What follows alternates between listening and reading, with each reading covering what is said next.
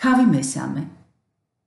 ჩემს სარეცელზე ვეძებდი ღამღამობით ჩემი სულის შეყვარებულს. ვეძებდი მაგრამ ვერ ვიპოვე.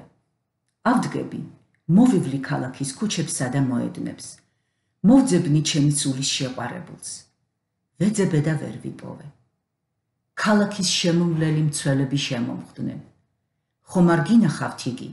ჩემს სულს რომ უყვარს?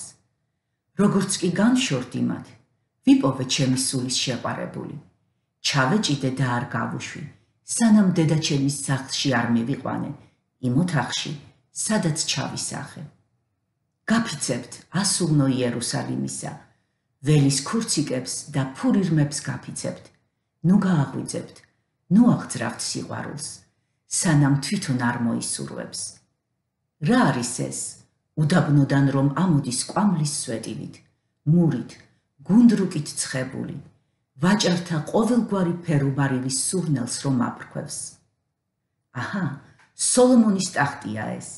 60 ვაშკაცია მის გარშემო ისრაელის ძლიერთაგან.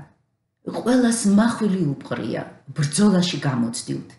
თითოეულს ხმალი ჰყიდია თეძოზე, ღამის საფრთხეთა გამო. ტახტრევანი გაიკეთა მეფე სოლომონმა ლიბანის ხეთაგან. მისი სვეტები ვერცხლისგან გააკეთა.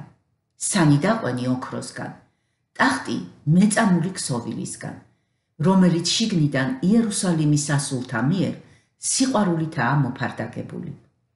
გამოდით და შეხედეთ სიონის ასულნო, მეფე სოლომონს და გვირგვინს, რომლითაც შეამკო იგი დედამისმა, ქორწილისა და გულის სიხარულის დღეს.